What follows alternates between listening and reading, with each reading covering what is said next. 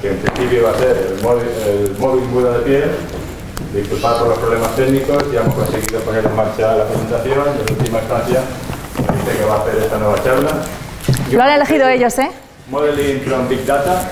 Entonces os dejo con ella, que ella va a hacer su propia autopresentación y, y pues nada. Muy bien, muchas gracias. Si no me oís, atrás podéis veniros delante, si no se oye bien.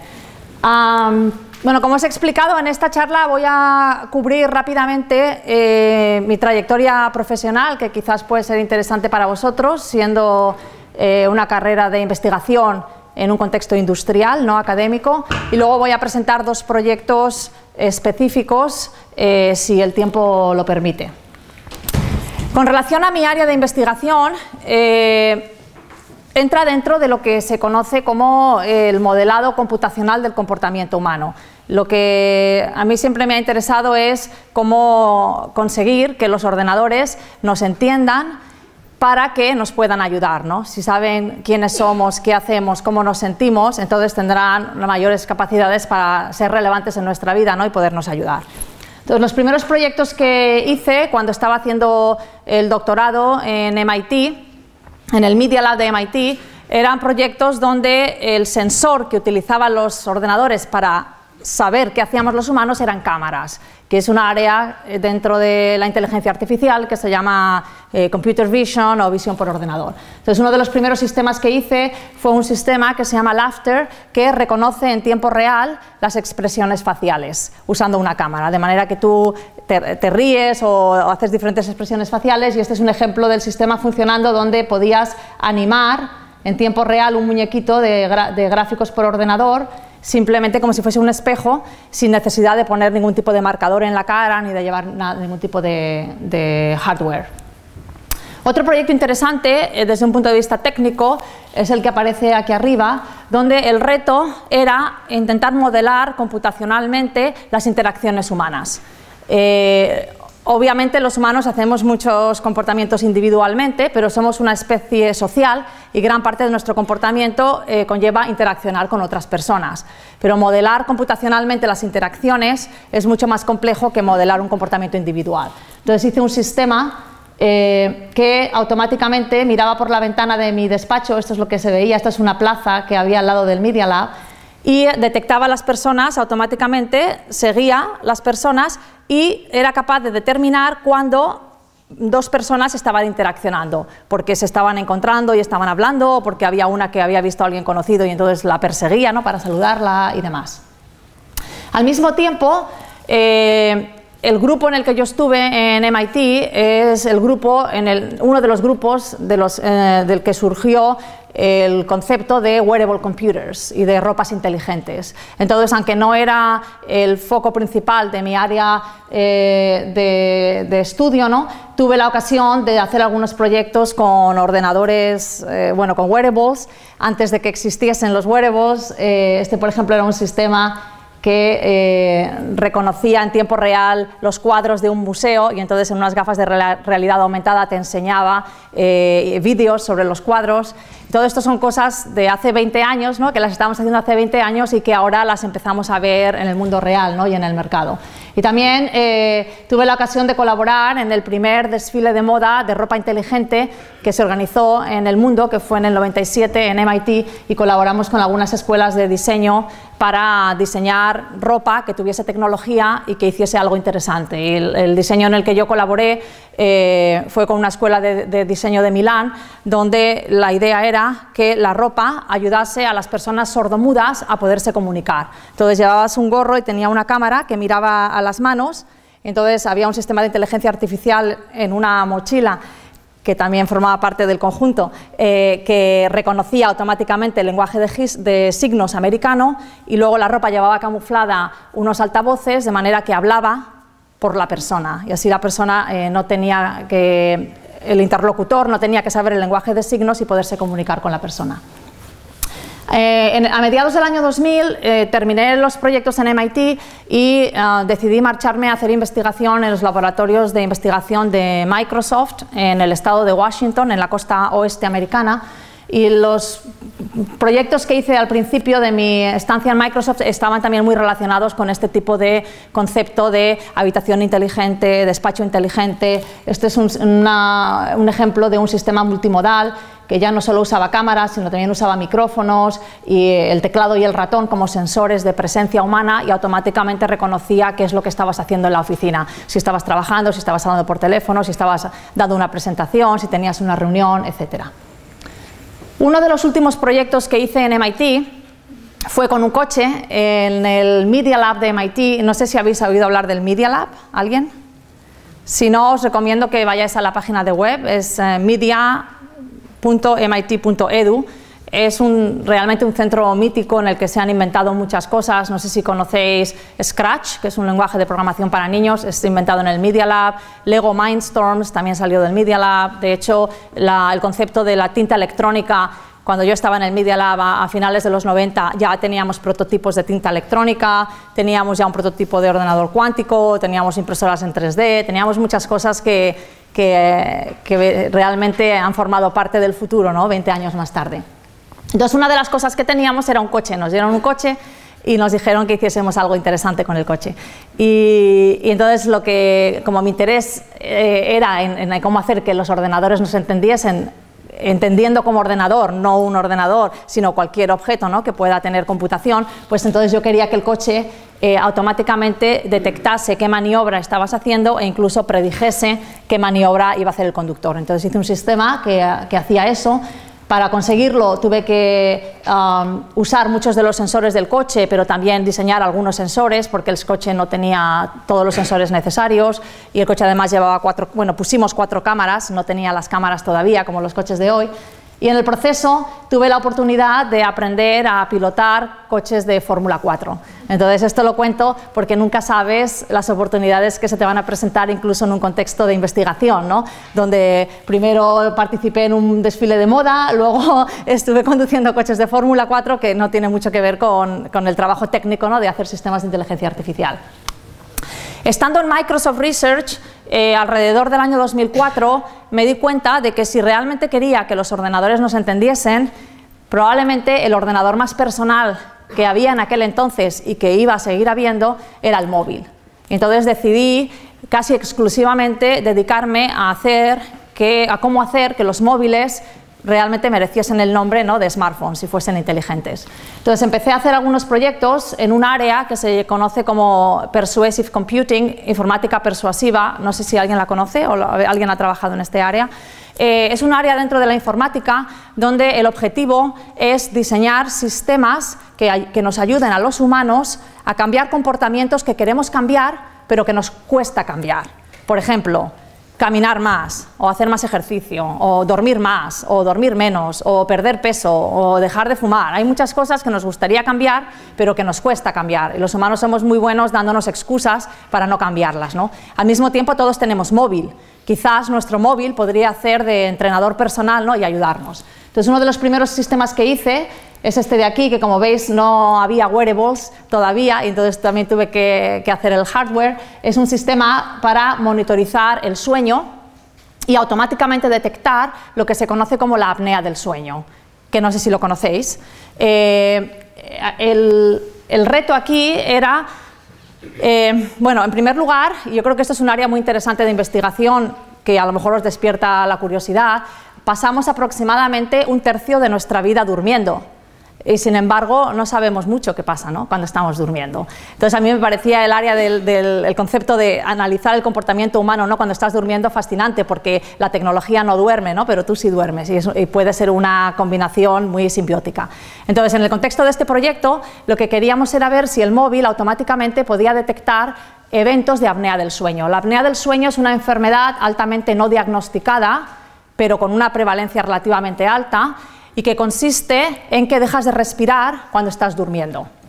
Normalmente tú no te enteras porque estás durmiendo y no te mueres por la apnea del sueño, porque cuando los niveles de oxígeno en la sangre alcanzan un cierto nivel, se envía una señal al cerebro que te hace no sé cómo se dice en español, gasp, que te hace hacer así, y entonces, eh, para no morirte, ¿no? Entonces eh, inhalas muy fuerte y entonces sigues durmiendo, hasta que otra vez los niveles de oxígeno en la sangre bajan y otra vez vuelves a hacer así. De manera que normalmente Tú no lo sabes, pero la persona que duerme contigo sí lo sabe, porque cada dos por tres le estás despertando ¿no? con un susto porque estás haciendo esos ruidos. Entonces la idea era, pudiese, dado que el móvil eh, no necesita dormir, ¿no? podríamos hacer un sistema que automáticamente monitorizase los niveles de oxígeno en la sangre usando un oxímetro y monitorizase los movimientos de las piernas, que también es otra señal importante para la apnea del sueño, y automáticamente detectase si estás teniendo eventos y pudiese o bien despertarte o bien, como mínimo, darte un resumen cuando te despiertas de cómo ha ido la noche. ¿no? Y este es eh, un ejemplo de este sistema. Otro ejemplo de un sistema de, informática persuasiva en el móvil eh, es Triple Bit, se ve aquí, aquí y aquí. Y en este proyecto la idea era la siguiente. Eh, entra dentro del concepto de cómo ayudar a la gente a, conseguir sus objetivos de hacer ejercicio, bien irte a correr o bien irte a caminar. Entonces lo que haces es le dices al móvil, antes de irte a correr o a caminar, cuánto tiempo, por cuánto tiempo quieres estar caminando o corriendo y con qué intensidad. La intensidad se mide en lo que se conoce como la reserva del ritmo cardíaco, heart rate reserve, que caracteriza cómo de aeróbico o anaeróbico está siendo ese ejercicio, ¿no? Porque todos tenemos una capacidad cardiovascular que no conviene sobrepasar, por eso hay que tener cuidado cuando uno hace ejercicio. Entonces, para poder medir el ritmo cardíaco y para poder medir los pasos que das, la persona lleva una banda aquí en el pecho. Entonces, esta información se envía en tiempo real al móvil. Entonces, el móvil, por una parte, sabe tu ritmo cardíaco y sabe dónde debería estar tu ritmo cardíaco, porque tú se lo has dicho antes de ir a correr. Al mismo tiempo, el teléfono tiene todas tus canciones y utilizando técnicas de análisis de, música, eh, detecta automáticamente el tempo de todas tus canciones sabe cuántos pasos estás dando porque esta banda tiene un acelerómetro y a partir del acelerómetro se puede calcular los pasos que estás dando. Te pones los cascos y entonces en función de si tu ritmo cardíaco está por encima, por debajo o alineado con el objetivo, elige automáticamente la canción que escuchas de manera que el tempo de la canción sea más rápido o más lento y te haga correr más deprisa o más despacio, ¿no? sin que tú tengas que hacer nada más que escuchar la música. Luego además añadimos otra técnica de informática persuasiva que es la competición y entonces podías competir con otra persona, pero no tenía por qué ser una competición en tiempo real y de hecho podías competir contra tu abuela o contra Usain Bolt, daba igual, porque la competición se mide en función de quién alcanza mejor sus objetivos. Entonces te permitía competir con personas de, con quien quisieses, ¿no? de, skills ¿no? muy diferentes. Luego ya aquí en España, uno de los proyectos que hicimos cuando estaba en Telefónica dentro de la informática persuasiva se llama Movipil y aquí el reto es cómo ayudar a la gente a tomarse la medicación correctamente. Eh, el concepto de la no adherencia a la medicación, es decir, no tomarte la medicación correctamente, es uno de los retos más importantes eh, según la Organización Mundial de la Salud porque entre un 30 y un 50% de la gente no se toma la medicación correctamente. Y yo os reto a que levante la mano al que nunca se le ha olvidado tomarse una pastilla cuando está enfermo, ¿no? Es algo que siempre se nos olvida. Entonces, la idea de este proyecto era decir, bueno, podemos convertir el proceso de tenerte que tomar una medicina que normalmente lo ves como una carga y una cosa que te tienes que acordar y se te olvida y demás, en algo que sea divertido. Entonces aplicamos una serie de técnicas de informática persuasiva, incluyendo un juego social, de manera que eh, ganas puntos según mejor te tomas la medicación y luego consigues medallas y consigues eh, premios eh, digitales, todos no virtuales. y validamos este sistema con personas mayores en Andalucía y conseguimos mejorar la no adherencia en un 60%, que fue muy prometedor. Luego, eh, al mismo tiempo, además de estos sistemas de informática persuasiva, las otras dos grandes áreas en las que he estado trabajando desde el 2004 son en el modelado de, determinados aspectos del comportamiento humano a nivel individual, y lo voy a explicar con más detalle ahora después, o en el modelado del comportamiento humano a nivel agregado, siempre usando eh, los móviles o datos de los móviles.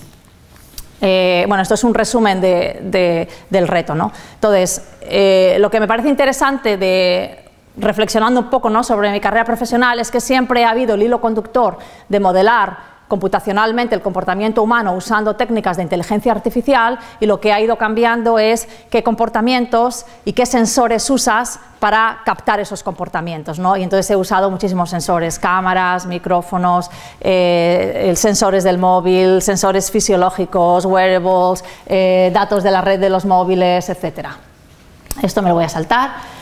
Entonces, en el contexto de desde el año 2007-2008 en adelante, estas son un poco las áreas en las que he estado trabajando y, como no me da tiempo a contaros un proyecto de cada área, voy a contar un proyecto de dos de las áreas. Entonces la principal idea es, bueno, queremos modelar a los humanos computacionalmente utilizando técnicas de inteligencia artificial a partir de datos que generamos los humanos. Como sabéis, los humanos generamos muchos datos, sobre todo porque eh, interaccionamos cada vez más con el mundo digital y todas las interacciones, las redes sociales que se usan, los teléfonos móviles, las aplicaciones que se usan van dejando huellas digitales.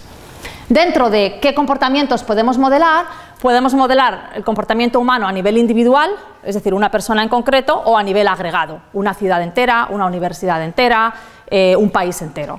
Entonces, esta parte de aquí muestra ejemplos de modelado individual y esta parte de aquí muestra ejemplos de individual o agregado. A nivel individual, algunas de las cosas en las que he estado trabajando en los últimos nueve años o así incluyen la primera, la cajita naranja, que, hace referencia a lo que se conoce como eh, la inteligencia de negocio, la próxima generación ¿no? de inteligencia de negocio, donde la idea es eh, ir más allá de saber la edad y el sexo de una persona e intentar entender eh, características quizás más sutiles, pero también muy importantes, como por ejemplo la personalidad. Entonces hicimos un proyecto donde fuimos capaces de inferir la personalidad de la gente sus patrones en el móvil para bajar esos intereses ¿no? con los que se les da el dinero para poder decir, no, esta persona tiene muy bajo riesgo, podríamos ayudar ¿no? a miles de millones de personas. Esa es una de las motivaciones de este proyecto. Otra área en la que trabajamos es cómo mejorar las interacciones que, eh, las empresas, estos proyectos son todos en el contexto de, Telefónica, donde he estado hasta hace un par de meses, pues cómo mejorar las interacciones que se tienen con los clientes analizando eh, el audio de las llamadas cuando llamas al servicio de atención al cliente. Normalmente cuando llamas un porcentaje de esas llamadas son grabadas precisamente para este motivo, para entender qué es lo que está pasando, pues cómo desarrollar técnicas de inteligencia artificial, de análisis de audio, eh, que permitan determinar qué conversaciones están yendo bien o mal, permitan determinar las emociones en las conversaciones de una manera automática. Otra área muy importante es el área de la personalización y los sistemas de recomendación. Eh, si usáis cualquier red social o usáis Netflix o compráis cosas en Amazon, todos estos servicios tienen detrás sistemas de recomendación que modelan qué es lo que te gusta y en base a eso te recomiendan pues películas interesantes o libros interesantes o música interesante si usáis Spotify o eh, eh, anuncios personalizados, ¿no? que es la manera que tienen Google y Facebook de ganar dinero. Entonces, detrás de todo eso hay un área entera dentro de Computer Science que es el área de sistemas de recomendación. Eh, otra área más, un poco más mirando hacia el futuro y que voy a contar un proyecto dentro de este área, es un área en el que la idea es, bueno, ¿y qué cosas quizás pudiésemos hacer, pero no estamos seguros si podemos hacer o no. Entonces ahí os voy a contar un ejemplo con un proyecto relacionado con el aburrimiento. Además, eh, eh, creamos un laboratorio viviente, un Living Lab en Trento, en colaboración con Telecom Italia, Telefónica, FBK y MIT, donde eh, teníamos 150 personas aproximadamente que llevaban un móvil y el móvil estaba instrumentado y grababa todo lo que hacían con el móvil, obviamente con el consentimiento de estas personas, eh, y las personas se ofrecían voluntarias a participar en diferentes estudios científicos, siempre alrededor de los datos personales, del uso de los móviles y demás. Y ahí hicimos un, estudio muy interesante eh, sobre cuánto dinero piensa la gente que valen los datos, sus datos móviles. ¿Cuánto dinero piensas que vale tu localización? ¿Cuánto dinero piensas que vale el hecho de que acabas de hacer una llamada a tu abuela ¿no? ahora mismo? Eso, ¿cuánto dinero ¿no? podría valer? Y la idea de preguntar el dinero es porque hay un concepto dentro de, de este campo de la informática que es el concepto de lo que se conoce como un mercado de datos personales donde quizás en un futuro pudiésemos nosotros, los creadores de esos datos personales, vender nuestros datos y ganar dinero ¿no? con nuestros propios datos. Desde un punto de vista agregado, Hay muchos proyectos eh, relacionados con el tema de Smart Cities, cómo modelar el tráfico de una ciudad, cómo entender mejor qué es lo que está pasando en una ciudad. Todo eso yo creo que es más conocido para vosotros, pero voy a hablar de un área que quizás es menos conocida, que es el área que llamamos Big Data for Social Good, donde la idea es cómo podemos aprovechar todos estos datos agregados de comportamiento humano para mejorar el mundo. Y esto parece muy abstracto y lo explicaré luego un poco con más detalle qué es lo que quiero decir. Entonces, ¿por qué ¿Por qué los teléfonos móviles son tan interesantes o por qué todo, hacer todo a partir de los teléfonos móviles? Yo creo que esto es obvio. Eh, el móvil es el dispositivo tecnológico más sofisticado con más adopción en la historia de la humanidad. Eh, no solamente tiene mucha adopción, es decir, casi todo el mundo tiene móvil o todo el mundo tiene móvil, sino además está siempre con nosotros. Y de hecho pasamos más tiempo con nuestro móvil que con nadie o nada en nuestras vidas. ¿no? Eh, y esto es algo muy importante porque el móvil realmente es un ordenador ¿no? que está siempre con nosotros. Y además, para los proyectos de mejora del mundo, eh, el otro fenómeno importante es que esto es un fenómeno global. No sucede solo en países desarrollados, sino también en países en desarrollo. Entonces, dentro de este contexto, os voy a contar ahora el proyecto del aburrimiento y eh, espero que me dé tiempo para contaros el proyecto del crimen. El proyecto del aburrimiento es trabajo conjunto con Martin, Tillman, José y yo. Algo que no he comentado, pero que es interesante, es que gran parte de estos proyectos los, eh, eh, he, hecho siempre, tanto en Microsoft como en Telefónica, como seguramente en, tanto en Data Pop Alliance, que es mi nueva afiliación, y también en Vodafone Research, que son mis dos nuevas afiliaciones. Los hemos hecho en colaboración con estudiantes de doctorado que eh, pueden venir normalmente en verano, pero puede ser en cualquier momento del año, para hacer algún proyecto de investigación con nosotros durante tres o cuatro meses. Entonces, casi todos los proyectos, eh, en ellos han participado estudiantes que obviamente luego tienen publicaciones y es muy positivo ¿no? como experiencia. De hecho, este proyecto ganó premio a mejor artículo científico en UbiCom, que es el mejor congreso internacional de Ubiquitous Computing. Las principales eh, observaciones importantes para este proyecto es que pasamos mucho tiempo con el móvil. Y la principal idea del proyecto es la siguiente. Aunque quizás no seamos conscientes de ello, todos nosotros, en nuestro día a día, somos partícipes de una guerra, que es una guerra por nuestra atención. Conforme eh, cada vez tenemos más aplicaciones y más servicios, eh, en este caso particular en nuestros móviles, eh, todos están compitiendo por llamar nuestra atención, porque nuestra atención es lo que se monetiza, ¿no? es lo que vale dinero. De manera que lo que se ha producido en los últimos años, y, yo creo que todos, estos, todos vosotros sois víctimas, entre comillas, de ello, es una transición de lo que se conoce como pull notifications a push notifications, donde todos estos servicios que quieren captar nuestra atención utilizan notificaciones para llamarnos la atención. Y si, sois, si usáis WhatsApp y sois miembros de dos o tres grupos de WhatsApp, entenderéis un poco el reto que hay ¿no? cuando recibimos eh, un diluvio ¿no? de notificaciones, 100 notificaciones, 200 notificaciones al día, que obviamente eso no es manejable. Entonces, eh, el hecho de que tenemos por una parte cientos de servicios que están intentando captar nuestra atención y por otra parte nuestra atención es un recurso limitado, ha dado lugar a un concepto que es el concepto de la economía de la atención, donde la atención se trata como un recurso natural limitado, igual que puede ser el oro o los diamantes. Y lo que ha pasado hasta ahora, aunque esto está cambiando y este proyecto es un ejemplo de cómo intentar cambiar las cosas, es algo similar a lo que pasó en el, oeste americano cuando los pioneros podían ir y si llegabas a un trozo de tierra, ¿no? esa tierra era tuya. ¿no? Pues aquí tenemos un poco lo mismo, pero con las aplicaciones. Todas están intentando captar nuestra atención y no hay ningún tipo ni de regulación ni de ni de herramientas que nos ayuden eh, a, tener una situación más sostenible donde no tengamos esta ansiedad ¿no? por recibir tantas notificaciones.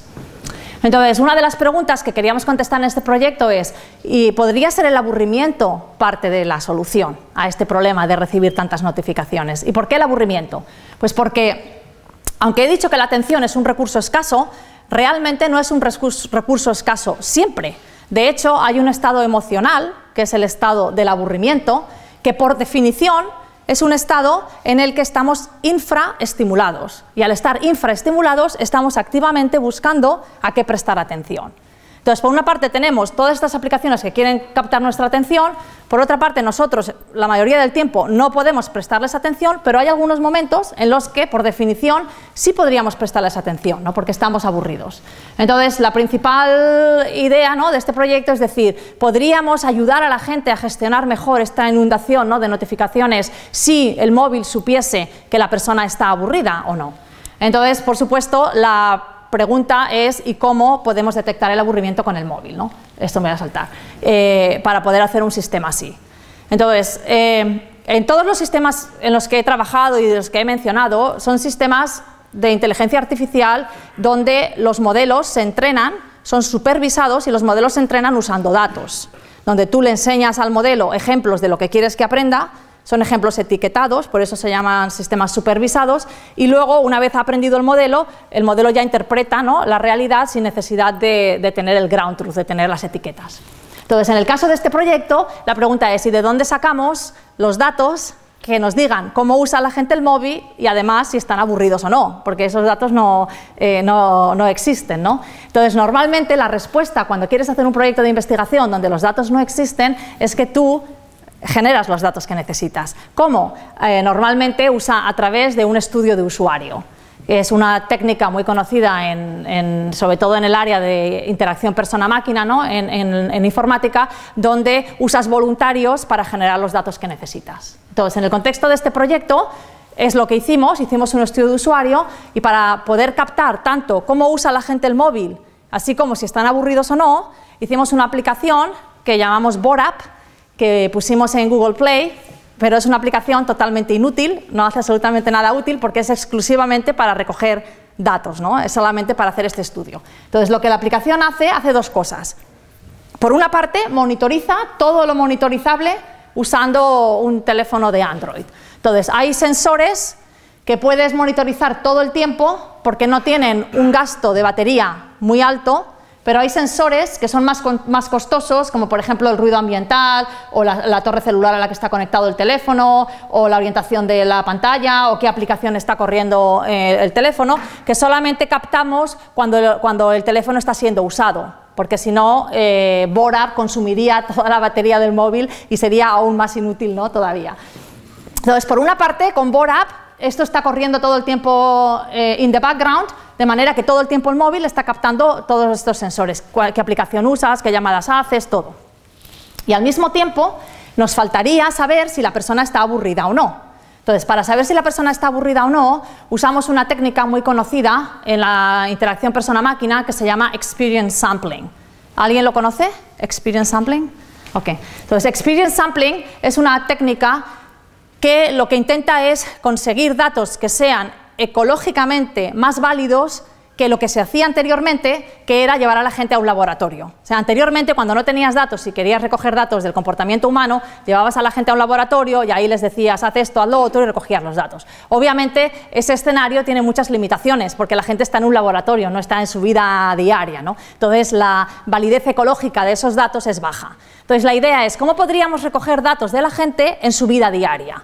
Y de ahí, eh, para contestar a esa pregunta, el móvil es una herramienta muy buena. Entonces, se utiliza esta técnica de experience sampling que lo que consiste es en lo siguiente. Tú, bueno, tú, en este caso la aplicación, varias veces al día y diseñas la inteligencia para que esas veces estén separadas en el tiempo y demás, la aplicación envía una pregunta a la persona, muestra una notificación donde le pregunta, ahora mismo, de 1 a 5, ¿cómo de aburrido o aburrida estás?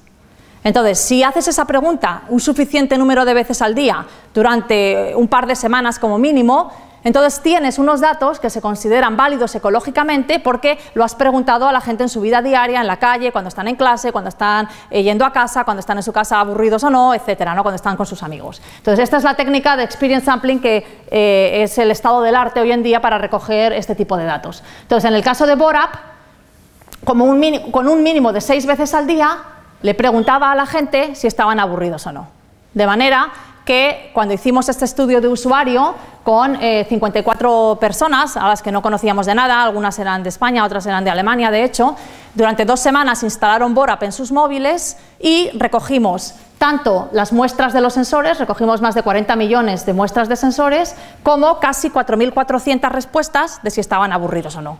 Entonces ahora ya tenemos un dataset que nos permite construir modelos de machine learning para intentar determinar si hay algo, hay algo en los datos de estos sensores que sea diferente dependiendo de si estás aburrido o no estás aburrido. Porque si lo hay, entonces podríamos hacer un sistema que automáticamente determine si estás aburrido o no cuando usas el móvil. Entonces, si miramos las respuestas, lo que se conoce como ground truth, uno de los retos de este proyecto es que, afortunadamente, la mayor parte del tiempo la gente no está aburrida. Estas son las respuestas y este es el número de respuestas. Entonces, como veis, las respuestas de no estar aburrido, que sería 0, 1 y 2, hay muchísimas más que de estar aburrido. De hecho, aproximadamente solamente un 10% del tiempo la gente decía que estaba aburrida. Esto se conoce como un dataset no balanceado en Machine Learning y es un reto porque no tienes el mismo número de ejemplos de la clase positiva ¿no? que de la clase negativa. Entonces, una técnica que puedes utilizar para intentar resolver o, mejorar las cosas es normalizar los datos. ¿Por qué? Pues porque no todo el mundo tiene el mismo valor medio de aburrimiento. A lo mejor soy una persona que yo nunca estoy aburrida. Entonces, a lo mejor para mí un 1 es que sí que estoy aburrida, porque la mayoría de mis respuestas son un 0. ¿no? Pero igual hay otra persona que eh, es al revés, necesita estar en un 4 porque eh, siempre sus niveles son muy altos. Entonces, lo que puedes hacer es calcular el Z-score, que lo que hace es que le sustrae la, media y divide por la varianza de las respuestas de manera que consigues un dataset más balanceado. Y haciendo eso, eh, conseguimos tener aproximadamente un 35% de ejemplos positivos de que sí que estás aburrido en lugar de un 10%. Entonces, desde un punto de vista de la metodología, utilizamos, ah bueno, esto casi me lo voy a saltar, eh, de, los, de los sensores del móvil dividimos los sensores del móvil en diferentes categorías. Entonces teníamos siete categorías que intentan caracterizar el uso que haces del móvil. ¿Qué aplicaciones usas? ¿Cuánto las usas? Eh, ¿Cuántas notificaciones tienes pendientes? ¿Cuántos bytes has estado transmitiendo? Eh, ¿Si has hecho llamadas o no? Eh, el contexto, pero no la localización por privacidad, pero si estás en tu casa o estás en clase o estás en tránsito, etcétera. Con relación al modelado, utilizamos técnicas del estado del arte de Machine Learning, clasificador, lo que se conoce como clasificadores binarios en este caso, porque queremos clasificar si la persona está aburrida o no.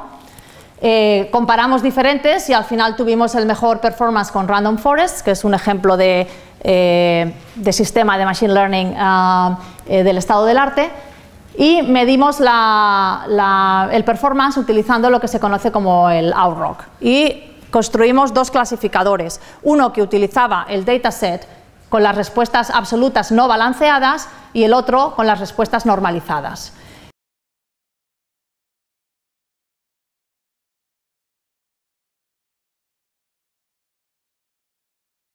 performance, entonces aproximadamente entre un 80 y un 75% de performance, el sistema es capaz de determinar automáticamente si estás aburrido o no. Entonces la pregunta, y esta es una pregunta que surge siempre que haces un sistema inteligente que interacciona con humanos es, bueno, ¿y estos resultados son útiles para algo o no? ¿Es un 80% de performance good enough o no? Porque eso no se sabe, ¿no? Los sistemas automáticos rara vez van a ser perfectos. Entonces lo que tienes que entender es si el nivel de perfección al que, al que llegas es suficiente o no para tu problema. Entonces, para poder contestar esa pregunta de si realmente este performance es útil o no, hicimos otro estudio de usuario con otra aplicación que originalmente llamamos Borat 2 eh, y que hace lo siguiente. La pusimos también en Google Play y la idea de esta aplicación es la siguiente. Esta es un poquito más útil para la gente, pero realmente no son aplicaciones para usar, son aplicaciones solamente para hacer ciencia ¿no? con ellas. Entonces, eh, tú te instalas Borat 2 y Borat 2 todo el tiempo en el... Es que no sé cómo se dice esto en español, in the background. ¿Eso cómo se dice? ¿Cómo? Segundo plano. O sea, está todo el rato eh, la aplicación, tu móvil, te lo instalas y todo el tiempo tu móvil está diciendo, está infiriendo si estás aburrido o no. Entonces, está corriendo un modelo que entrenamos utilizando los datos normalizados porque lo vamos a aplicar en gente que no era esa gente con la que usamos los datos de entrenamiento, va a ser cualquier otra gente. ¿no? Entonces, el móvil todo el tiempo está diciendo, está aburrido, no está aburrido, está aburrido, no está aburrido, está aburrido, no está aburrido. Y al mismo tiempo, Borap 2 de vez en cuando te sugiere, te manda una notificación y te sugiere un artículo de BuzzFeed. No sé si conocéis BuzzFeed. BuzzFeed es una red social de noticias que te pone las noticias más populares. Si no lo conocéis, os lo recomiendo para cuando estéis aburridos. Eh, te, te enseña cosas interesantes, cosas que a la gente le gusta, trending topics y demás. Entonces, esta aplicación, por una parte, todo el tiempo dice si estás aburrido o no, y por otra parte, te sugiere estas noticias. Entonces, lo que queríamos saber era si la gente iba a responder de manera diferente a esta recomendación dependiendo de si estaban aburridos o no estaban aburridos. Y eso es lo que voy a contestar en lo siguiente. Entonces, para poder contestar a esa pregunta, hicimos otro estudio de usuario, reclutamos a 16 personas y durante dos semanas esas personas usaron BORAP 2 y recibieron aproximadamente, bueno, exactamente, de hecho, 941 recomendaciones y aproximadamente la mitad las recibieron cuando el sistema pensaba que estaban aburridos y la otra mitad cuando el sistema pensaba que no estaban aburridos, teniendo en cuenta que el sistema un 20% del tiempo se equivoca, pero da igual, ¿no? Lo que queríamos era saber si es suficientemente bueno. ¿Y qué es lo que encontramos? Medimos dos cosas. Medimos en qué porcentaje del tiempo la gente clicaba en esta recomendación y en qué porcentaje del tiempo no solamente clicaban, sino además leían el artículo durante un mínimo de 30 segundos. La primera métrica se llama el click ratio, eh, si clicas. La segunda métrica se llama el engagement ratio, porque lo que mides es no solamente que clique, sino además si la persona dedica tiempo ¿no? a leer la recomendación. ¿Y qué es lo que encontramos? A ver, que levanten la mano los que piensan que estar aburrido o no sí tuvo un impacto en si clicabas o no clicabas. Ok, la mitad más o menos. ¿Y los que piensan que no tuvo un impacto? Bueno, no, tres. ok, so esta es la respuesta. Cuando medimos el click ratio, lo que encontramos fue que solamente en un 8% de los casos, cuando el sistema pensaba que no estabas aburrido, clicabas, comparando con un más de un 20% cuando el sistema pensaba que estabas aburrido. Y esta diferencia es estadísticamente muy significativa. Es decir, sí había una diferencia importante en si ibas a clicar o no en función de si estabas aburrido o no. Y además, no solamente tenías más probabilidad de clicar, sino que tenías más probabilidad de leer el, artículo durante más de 30 segundos. Solamente un 4% cuando el sistema pensaba que no estaban aburridos versus un 15% cuando pensaba que estaban aburridos y esta diferencia también es significativa. De manera que lo que encontramos fue que con un sistema imperfecto para detectar el aburrimiento éramos capaces, aún así, de identificar momentos donde la gente tenía más probabilidad de eh, interesarse ¿no? por una recomendación. Y este sistema, como he dicho, ganó el premio al mejor artículo en, en Ubicom y salió en la prensa, en MIT Technology Review, en muchos sitios. Y eh, con relación a qué hacer ¿no? con esta inteligencia, hay cuatro ideas. La primera, que es, que es la de BORAP 2, pero hay otras ideas que nos gustaría explorar. La primera es similar a BORAP 2, es decir, bueno, si yo sé, si mi móvil sabe que estoy aburrida, pues podría recomendarme contenido interesante que me ayude ¿no? a mitigar ese aburrimiento. Hay otra idea que es la respuesta a la motivación de esta parte de la charla, que cuando he dicho al principio que todos recibíamos cientos de notificaciones al día y que muchas de ellas no llegaban en el momento oportuno y nos causaban ansiedad. ¿no? Pues ¿qué pasa si mi móvil sabe que no estoy aburrida? A lo mejor podría protegerme de algunas de esas notificaciones inútiles y no urgentes que probablemente me van a causar ansiedad. Hay otra idea que es decir, bueno, no simplemente podría recomendarme contenido, podría recomendarme cosas que tengo que hacer, pero que siempre se me olvida hacer. Y a lo mejor cuando estoy aburrida es un buen momento, ¿no? Por ejemplo, a mí siempre se me olvida llamar a mi abuela y solo me acuerdo como ahora, ¿no? en un momento en el que obviamente no la puedo llamar. Entonces, a lo mejor el móvil, si supiese cosas que tengo que hacer, me las podría recomendar en ese momento. ¿no? Imagínate que estás aprendiendo un idioma, pues igual te puede recomendar repasar las palabras del idioma ¿no? y demás.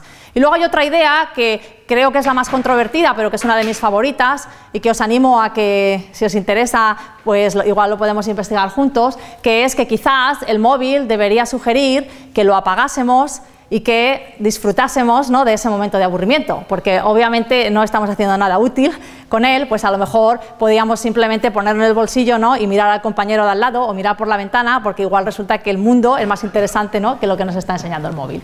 Tenemos muchas publicaciones a este respecto, eh, está todo disponible en internet, podéis eh, leerlas y verlas. Y ahora, en los próximos 15 minutos, es que hemos empezado tarde, eh, voy a contaros otro proyecto. Si alguien se tiene que marchar, Mm, feel free eh, to leave, ah, pero bueno, yo para los que se puedan quedar lo cuento. Este proyecto entra dentro del área que llamamos Big Data for Social Good. Y la principal motivación aquí es pensar cómo podemos aprovechar el hecho de que prácticamente todo el mundo tiene móvil para mejorar el mundo, ¿no? de alguna manera, porque esto es una situación sin precedentes históricamente. Nunca antes en la historia de la humanidad ha habido una tecnología tan potente como el móvil con tanta penetración. ¿no? Deberíamos ser capaces de aprovecharla para hacer algo ¿no? positivo con ella. Y esta es un poco la, idea de este área.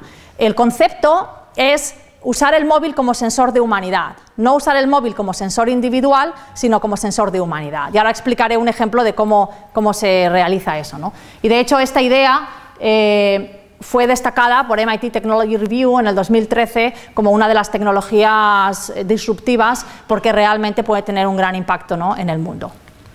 Entonces, ¿qué quiero decir en el contexto de los móviles eh, sensor de humanidad? Entonces, os lo voy a explicar con un ejemplo de un tipo de datos que se usan en estos proyectos. Esto sería una simplificación de cómo ve el móvil el mundo. Bueno, supongo que todos tenéis móvil, ¿no? Eh, y los móviles, supongo que todos sabéis que están conectados a una torre celular, que es lo que le da la conectividad ¿no? al móvil. Entonces, el espacio geográfico está lleno de torres, que eso lo podéis ver, podéis ver las torres en las ciudades, en las antenas eh, celulares, se llaman BTS, Base Transmitter Stations, y están por todas partes.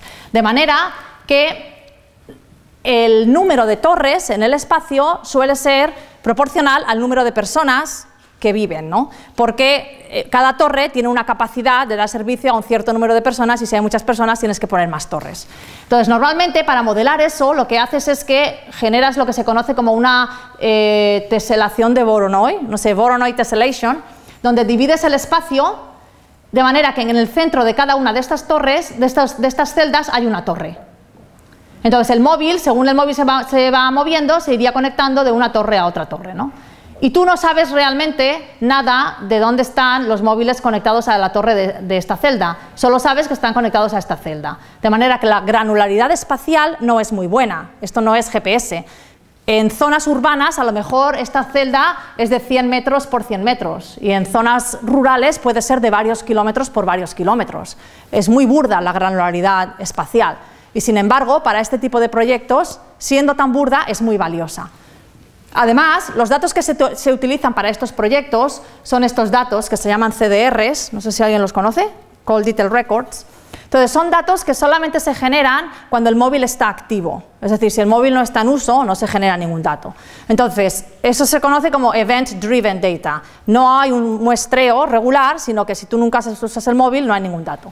Normalmente los datos que se usan en estos proyectos incluyen el número encriptado del, teléfono de origen, el número encriptado del teléfono destino, obviamente por motivos de privacidad, luego el, identificador de la torre celular a la que está conectado uno de los teléfonos, si el otro teléfono es del mismo operador, también se sabría la, torre del otro teléfono y la duración de la llamada.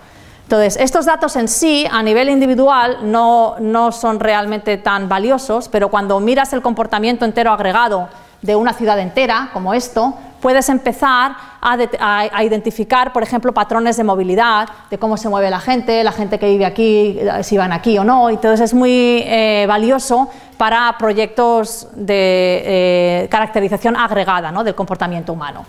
A partir de estos datos normalmente se calculan tres tipos de variables. Se calculan variables de consumo, que reflejan la intensidad de uso de los móviles, cuántas llamadas hay, eh, llamadas entrantes, llamadas salientes, etcétera. Características de red social, porque si sabes el identificador de los móviles, puedes construir un grafo y a partir de ese grafo puedes aplicar cualquier técnica de caracterización de redes para caracterizar el grafo. Por ejemplo, cuántas conexiones tiene, entrantes, salientes, la centralidad del grafo, etc. Y luego puedes calcular algunas variables de movilidad burda, porque ya he dicho que no se sabe con precisión, pero suficiente en el contexto de algunos proyectos, como la distancia media viajada durante un cierto periodo de tiempo. Esto no lo he comentado, pero es muy importante. Todos estos datos son datos espacio-temporales y una de las preguntas es cuál es la granularidad temporal ¿Qué es la importante para mi problema. Cuando digo aquí, por ejemplo, la duración de las llamadas, estoy diciendo la duración de las llamadas en un día entero, la duración de las llamadas en una semana, la duración de las llamadas en un mes, la duración de las llamadas los lunes versus los martes versus los miércoles, etc. ¿no? Entonces, en casi todos estos proyectos, como no sabemos qué granularidad temporal es interesante, calculas todas las posibles granularidades y luego aplicas técnicas que se conocen de selección de características para que el algoritmo automáticamente determine la granularidad que importa. Os voy a mostrar un par de vídeos para que veáis cómo son estos datos. Estos son dos ejemplos con, eh, datos agregados de Telefónica en el estado de... Este es en el estado de México, eh, antes, durante y después de que se produzca un terremoto. Entonces, estas burbujitas que veis reflejan el número de llamadas conectadas a una torre celular. Donde hay puntitos es que hay torres celulares que tienen llamadas activas. Esto es una ciudad porque tiene muchas torres celulares. Y ahora veréis lo que pasa cuando se produce el terremoto. El terremoto se produce aquí abajo, el epicentro.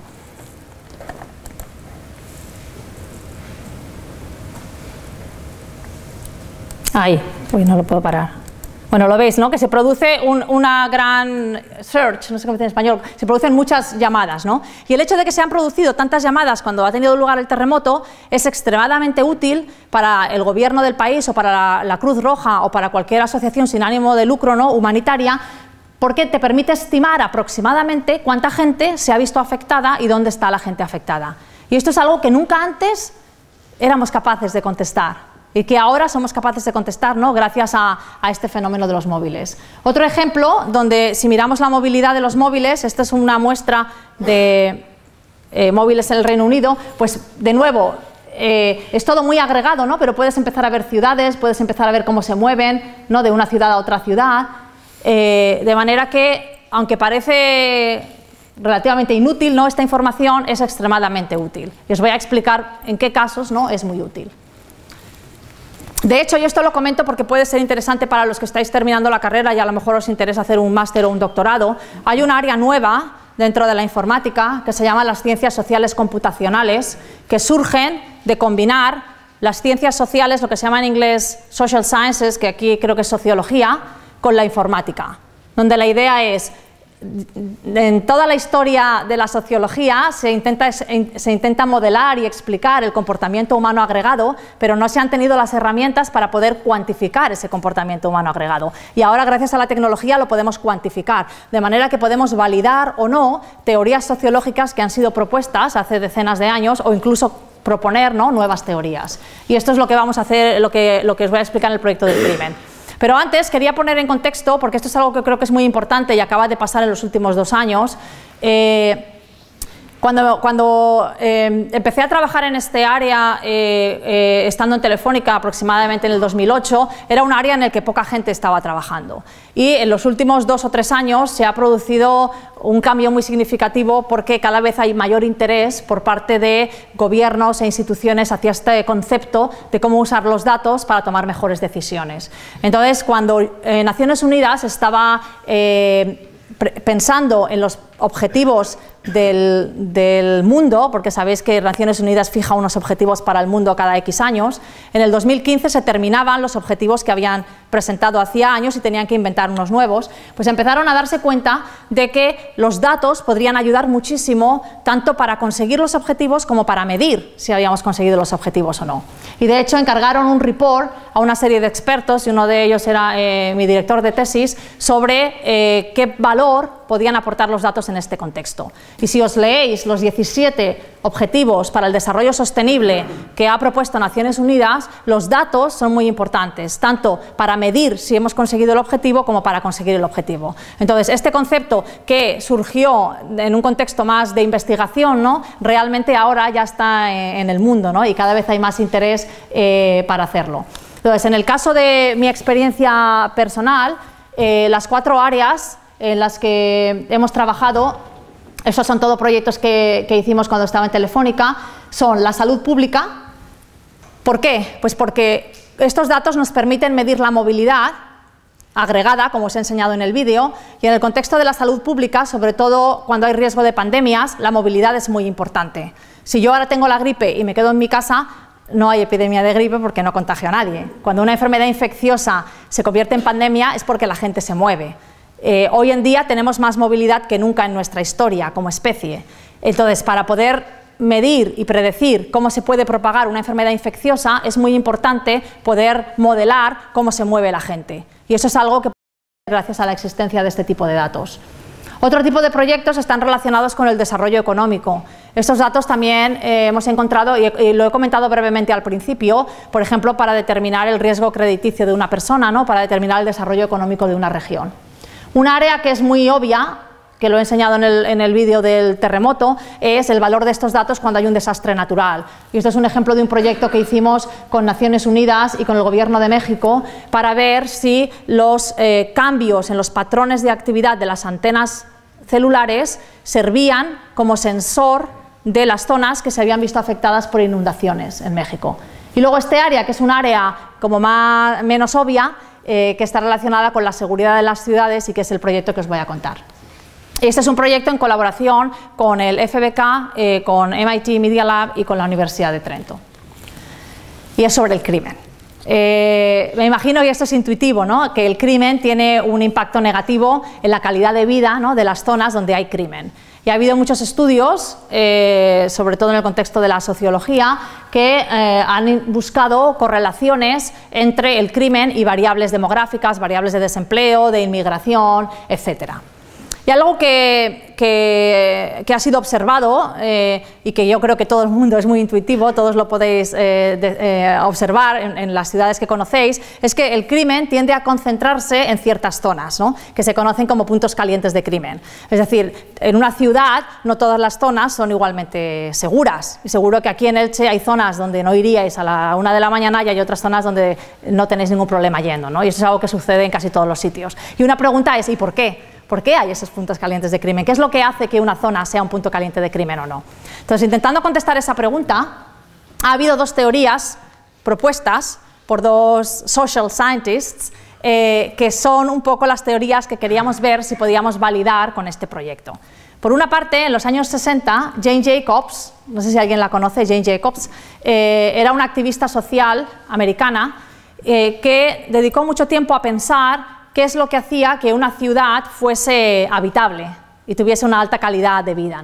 Y ella hablaba de un concepto que se llama Eyes on the Street, ojos en la calle, donde dice que las ciudades deberían ser diversas, deberían tener eh, mucha movilidad de gente, deberían tener gente de diferentes, eh, eh, ¿cómo se dice en español?, backgrounds, de diferentes perfiles económicos y demás, porque esa diversidad ayuda a que sean más seguras, porque estamos todos en la calle, si hay mucha gente por la calle y todos hacemos un poco de policía los unos de los otros. Y si yo veo que a alguien le están atacando y hay tanta gente en la calle, pues se van a proteger. ¿no?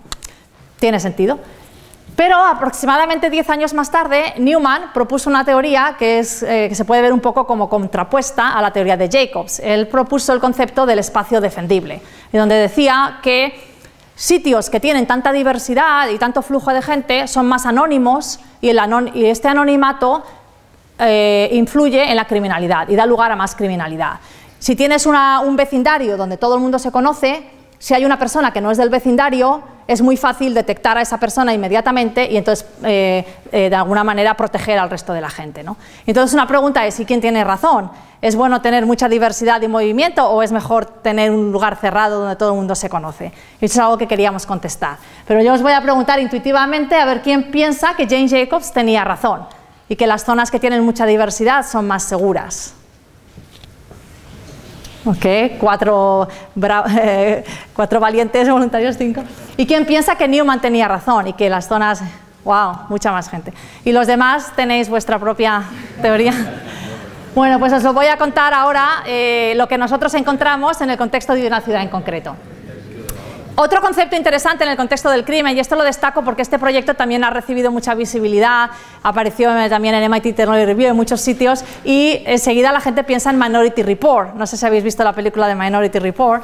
Eh, y no tiene nada que ver con Minority Report, porque aquí el objetivo no es determinar si un individuo va a cometer un crimen, el objetivo es determinar si una zona de la ciudad va a tener muchos crímenes o no. Entonces es lo que se conoce como un acercamiento centrado en el espacio y no centrado en las personas.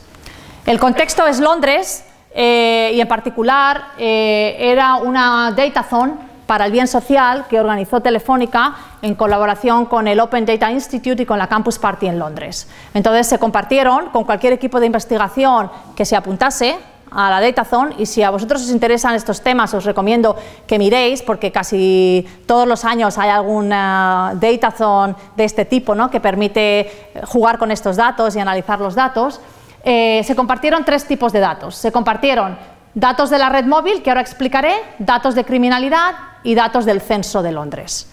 Eh, podías hacer, se compartieron más datos, lo que pasa que para este proyecto solamente usamos estos datos y la idea era cualquier equipo podía hacer cualquier proyecto siempre y cuando tuviese como objetivo tener un impacto social positivo, pero podía ser en el contexto de la salud, de la educación, de la polución, del clima, de cualquier, cualquier tema, desastres naturales, no lo que quisieses. Entonces, para este proyecto estos son los tres tipos de datos que se usaron. Los datos de móviles no son exactamente los que he explicado, porque eran unos datos que venían de un, producto que se llama Smart Steps, donde en lugar de tener la teselación de Voronoi, tenemos un cuadrado, y para cada cuadrado y para cada hora nos decían una estimación de cuánta gente había en ese cuadrado, una estimación de qué porcentaje de esa gente ese cuadrado era su casa, ese cuadrado era su trabajo o ese cuadrado era ni su casa ni su trabajo, estaban de paso, y luego había una firma de investigación de mercado que para cada cuadrado también proporcionaba eh, el porcentaje de cuáles ellos pensaban que eran hombres o mujeres y los porcentajes de edad. Entonces, esto los vamos a llamar los datos eh, dinámicos de, la ciudad, porque eh, es para cada hora, es muy dinámico. Al mismo tiempo, con relación al ground truth, con relación a los crímenes, la Policía de Londres, a través del Open Data Institute, compartió los datos geolocalizados para toda Inglaterra, pero para todo el Reino Unido, de hecho, pero nosotros solamente utilizamos los del área metropolitana de Londres. Y entonces teníamos solamente dos meses, la agregación temporal era mensual, y usamos un mes para entrenar los modelos y un mes para eh, validar y testear los modelos. Entonces, lo que hicimos fue, calculamos la mediana del número de crímenes en cada zona y si eh, el número de crímenes era superior a la mediana, lo considerábamos un punto caliente de crimen y si no, no era un punto caliente de crimen. Entonces, ¿cuál era la representación espacial? La representación espacial no era esta, de cuadraditos, como venían aquí, sino que era lo que se conoce como LSOA, que son las regiones censales en el Reino Unido. Entonces, cuando se elabora un censo, cuyo objetivo es hacer como un sensor de quién vive en una, con mucho detalle, quién vive en una región y muchas características de esa gente, y se va casa por casa y se pregunta a la gente, normalmente se divide el espacio en una zona que se llama región censal, que en el caso del Reino Unido el objetivo es que tiene que tener una población media de 1.500 personas. Y esto se hace para que cada región censal sea comparable, porque si no igual tienes una región censal con 400.000 personas y otra con 10 personas, no se puede comparar. ¿no? Entonces, en el caso del Reino Unido, eh, particularmente de Londres, teníamos 68 métricas del censo. Y son unas métricas muy detalladas, lo que pasa que como el censo es muy caro, solo se calcula cada 10 o 12 años. Entonces, teníamos por un lado datos muy dinámicos cada hora, pero no muy detallados, y por otro lado teníamos datos muy detallados, pero nada, dinámicos. Era una muestra que se había tomado hacía X años. Entonces teníamos cosas muy detalladas, información demográfica, información de las casas, información del porcentaje de inmigrantes, del porcentaje de desempleo, niveles de felicidad, niveles de salud, eh, eh, mucha información. Entonces, el reto, lo que queríamos hacer era, queremos predecir si una zona de Londres va a ser un, un punto caliente de crimen o no, y queremos hacer tres modelos. Un modelo que solo use los datos dinámicos, los que, solo tenemos, los que tenemos cada hora, un modelo que solo use los datos del censo, que sería como el estado del arte, y otro modelo que combine los datos de los dos. Y vamos a ver cuál funciona mejor. Entonces, para poder calcular los modelos, en el caso de los datos de los móviles, como he comentado, no sabemos la granularidad temporal. Entonces lo que haces es calculas todas las, posibles granularidades. Te decía, una estimación del número de personas, pues teníamos cada hora, pues hacíamos cada hora, cada X horas, cada día, cada semana, cada mes, ¿no? Y vamos agregando hasta que y calculábamos muchas estadísticas de cada variable, de manera que terminamos con más de 6.000 características, lo cual no es eh, eh, viable entrenar, sobre todo si solo teníamos un mes de datos. Entonces, normalmente cuando tienes un modelo con tantas características, con una dimensión tan alta, aplicas técnicas de reducción de dimensionalidad para tener un modelo más pequeño que sea más fácilmente entrenable. En este caso, utilizamos eh, una técnica estándar de, de crecimiento del coeficiente de Gini y elegimos las 68 características que eran las más predictivas. Y elegimos 68 para tener la misma complejidad que el modelo del censo que tenía 68. Entonces tenemos ya un modelo, tenemos ya 68 características de la dinámica de la ciudad y un modelo que va a ser el mismo para los tres modelos. lo que pasa que el input va a ser diferente. El objetivo es clasificar si cada región va a ser un punto caliente de crimen o no, eso se conoce como un clasificador binario, porque es cero no es punto caliente, uno sí es punto caliente, y probamos diferentes clasificadores y el que tuvimos mejor performance también eran random forests, como en el otro proyecto. Entonces, ¿qué tal funcionaron? Pues la primera observación es que el modelo que usaba los datos de la dinámica tenía una, un performance significativamente superior al modelo que solamente que usaba los datos del censo, aunque los datos del censo eran mucho más detallados, y esto ya era una sorpresa para nosotros. Y luego cuando combinábamos los dos datos, eh, conseguimos un poquito de mejor performance. Aquí tenemos una visualización, lo que pasa es que realmente no se ve nada del ground truth y de lo que dice el modelo, pero bueno, sí que se puede ver que acierta aproximadamente en un 70% del tiempo, pero lo más interesante es saber quién tiene razón, si Jane Jacobs o Newman. ¿Y cómo lo podemos saber? Mirando qué variables son las variables que realmente discriminan si va, a haber crímenes o no va a haber crímenes. Entonces, la primera observación que tuvimos es que las variables del día, que capturaban la dinámica del día, eran las más predictivas, en lugar de las de la semana, las del mes, etc. En segundo lugar, y esto ya es parte de la respuesta de quién tiene razón, encontramos que las zonas donde tenían un alto porcentaje de residentes tendían a tener más crimen. Y esto contradice en cierto sentido las teorías de Newman, donde decía que tienes que tener una zona donde todo el mundo se conozca. Pero además, encontramos que muchas de las variables más predictivas eran variables relacionadas con la entropía. La entropía lo que mide es cómo de predecible es una variable, que se podría eh, equiparar en cierto sentido a las teorías de Jane Jacobs de diversidad. Y encontramos que cuanto más entropía había, menos crimen había que corrobora también las teorías de Jane Jacobs. Entonces, los que habéis levantado la mano diciendo que pensabais que Jane Jacobs tenía razón, con estos datos eh, para Londres ¿no? y, con, este, en este experimento encontramos evidencia de que probablemente Jane Jacobs tenía razón. Además, cuando miramos el modelo conjunto, que usaba datos tanto del censo como de los móviles, eh, curiosamente, solamente 6 de los 68 eh, features, características, eran características del censo. Entonces, esto es muy interesante porque lo que te está diciendo es que la dinámica de la ciudad, aunque realmente solo sea una, información no detallada, porque solo saber aproximadamente cuántas personas hay, parece ser mucho más importante que información muy detallada pero no dinámica. ¿no? Y además, y para mí esto es quizás eh, un poco desalentador o, un poco triste, las variables del censo que eran importantes son variables que en cierto sentido refuerzan los estereotipos de qué es lo que hace que una zona sea segura o no, porque eran variables relacionadas con el porcentaje de gente que era inmigrante, por el porcentaje de gente que estaba en desempleo y demás. Entonces, con esto ya termino. Ah, tenemos también muchos artículos, no de este proyecto, pero también de otros proyectos dentro de este área. Y para concluir, eh, el principal mensaje que os quiero transmitir y a, lo que os animo ¿no? es a que penséis a cómo ver el móvil más allá que de un dispositivo con el que mandáis mensajes de texto o hacéis fotos, no os entretenéis, pues un ordenador personal que nos puede ayudar muchísimo tanto a nivel individual como a nivel colectivo, ¿no? a mejorar el mundo y a tomar mejores decisiones. Y con esto ya termino. Gracias.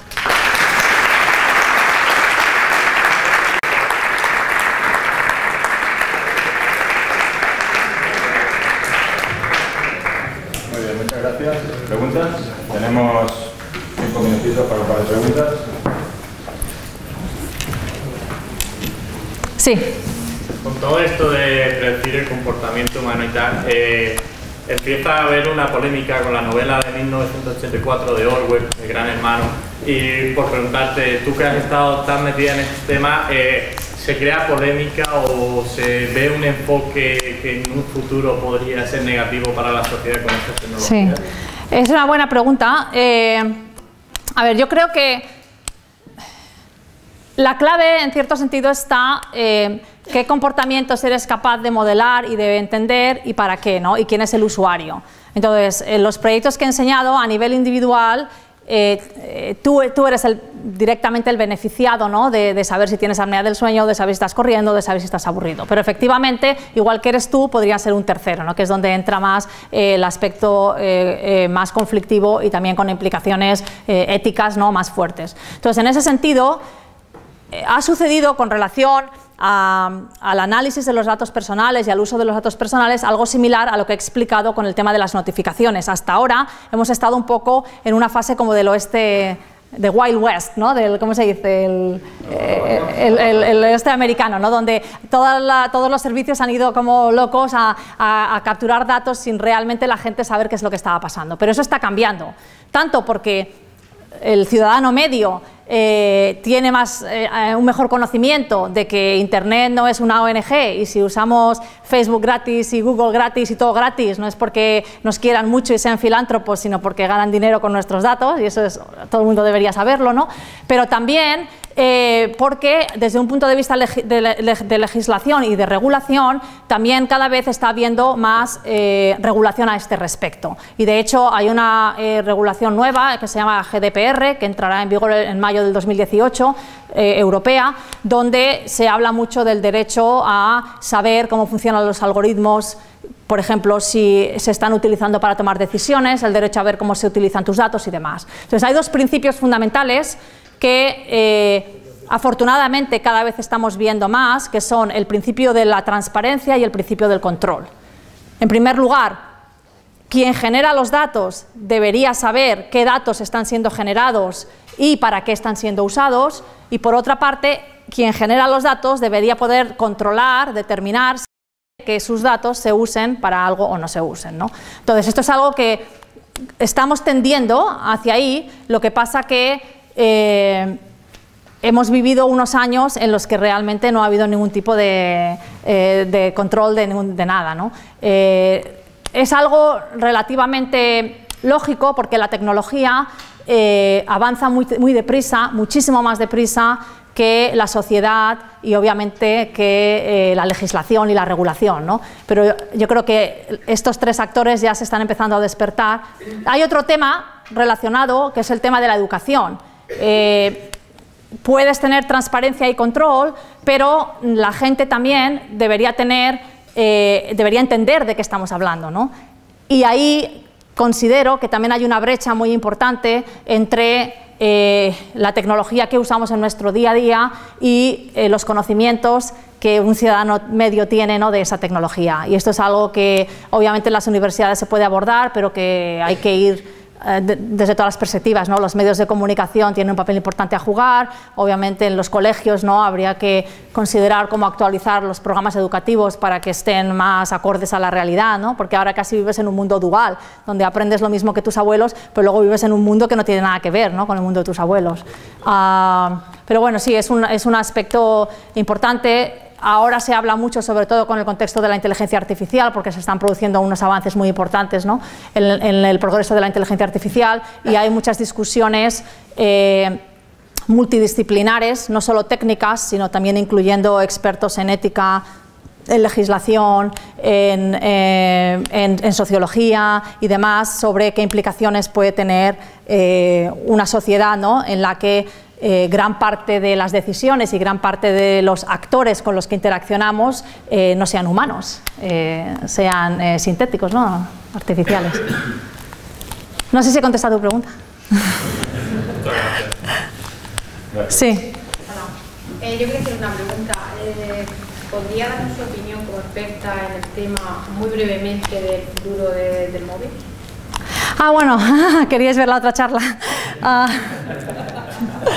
Eh, sí, a ver, en la otra charla de lo que hablo, es una charla muy divertida, de hecho, eh, igual más divertida que esta. Eh, de lo que hablo fundamentalmente es, no sé si son nueve o diez tendencias tecnológicas que considero que tienen el potencial de transformar muy significativamente el móvil como lo conocemos ahora. No, no tiene sentido pensar que la sociedad va a progresar, ¿no? vamos a tener todos estos grandes eh, avances tecnológicos, eh, pero el móvil se va a quedar como está, sobre todo siendo un dispositivo que, que, tiene 30 años y si consideramos los smartphones tienen 10 años. ¿no? Obviamente el móvil también se irá transformando.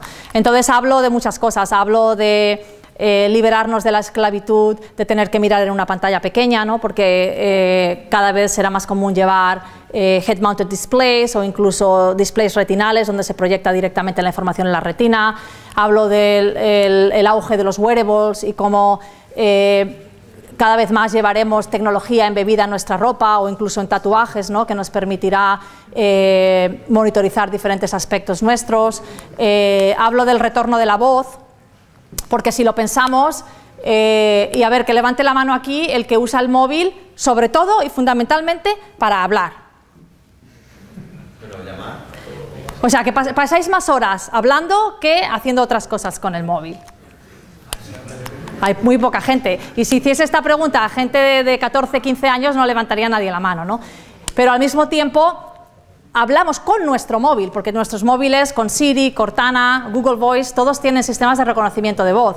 Entonces, en cierto sentido, se está produciendo un retorno de la voz para poder interaccionar más naturalmente con el móvil, pero a lo mejor no para interaccionar entre nosotros. ¿no?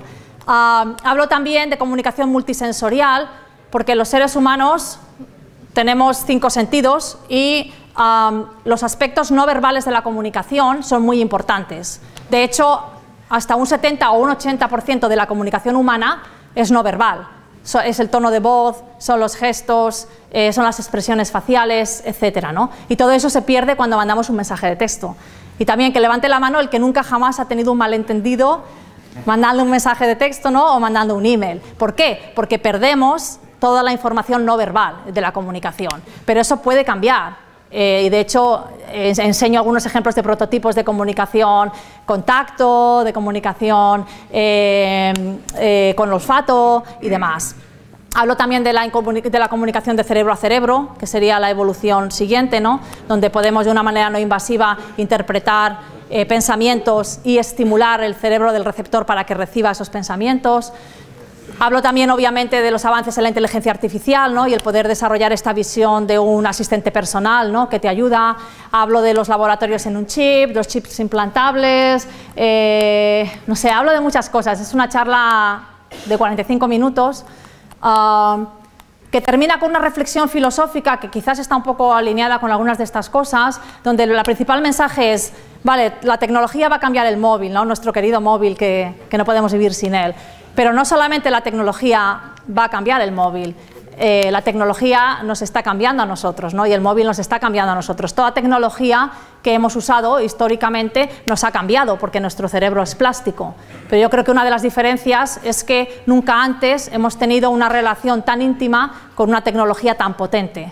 Entonces la pregunta es cómo podemos aprovechar esa tecnología para que esos cambios sean realmente positivos ¿no? y, tengamos un impacto positivo en, la calidad de vida y también en el planeta.